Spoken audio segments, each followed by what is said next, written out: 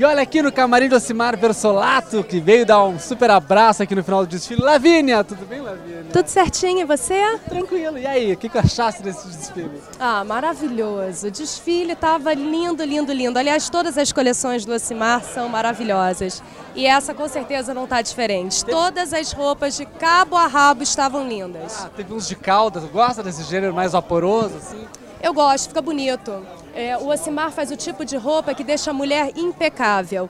Ela parada, ela andando, de qualquer jeito a mulher tá bonita. Lavínia, toda de preto! Adoras um preto ou curte uma cor também, Lavínia? Não, eu gosto muito de preto, mas eu adoro dar um tomzinho diferente, uma cor diferente. Mas hoje eu vim toda de preto. Profissionalmente, o que, que anda acontecendo? Eu vou começar, eu estava fazendo duas peças, saí das duas peças. Quais eram, Lavínia? Era Romeu e Julieta de William Shakespeare e a outra era D'Artagnan e os Três Mosqueteiros. Tava fazendo as duas de uma vez só. Que puxadíssimo! É, puxadíssimo. E aí eu tive que, infelizmente, sair porque eu vou fazer a próxima novela das sete. Já tem ideia Ai. do nome do teu personagem? O que, que vai acontecer? Valentine. Mais que isso eu não conto. Tá certo. Lavínia prestigiando aqui o Cimar Versolato. Obrigado. Obrigada a você.